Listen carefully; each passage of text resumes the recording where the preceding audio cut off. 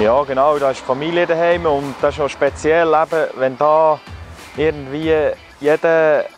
könnte schwingen, meinen Sport, den ich mache, und jeder ist angefressen von dem und das verfolgt das ganze Dorf und eben, wenn man so ins Dorf geht, dann kennt man einander und äh, ist einfach so, äh, das Dorf ist eine ganze Familie, die, die eigentlich zusammenhält. Sörenberg ist für mich auch ein Kraftort. Eben, wenn ich hierher komme, dann weiss ich, dann habe ich kein Training, dann bin ich daheim, dann kann ich mal Zeit auch für mich bisschen verbringen und das ist mir auch sehr wichtig, dass ich, wenn ich hierher komme, dass ich mich wieder daheim fühle und ein bisschen entspannen kann. Sörenberg ist meine Heimat und da bin ich aufgewachsen und da werde ich eigentlich den Rest von meinem Leben eigentlich verbringen.